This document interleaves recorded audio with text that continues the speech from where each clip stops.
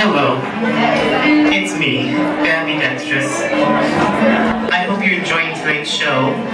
I know I am. Edmonton's drag community is one of a kind, and I want to do something to celebrate Edmonton drag. So, I wrote a very special song, and this song is going out to all of you, even if you haven't won a tiny plastic shoe.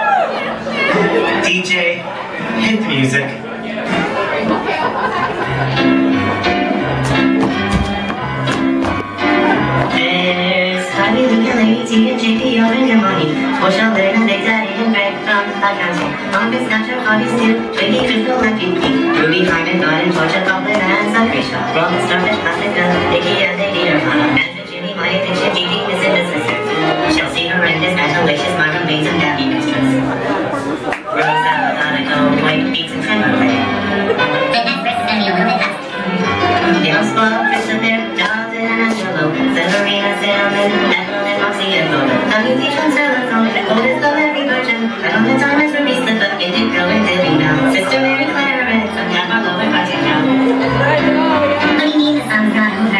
How many more are there? The Morgan Fair, and Science and Lilith and Ferris Fair. Vanity, Connie, Big One, Neon, Dio, Calico.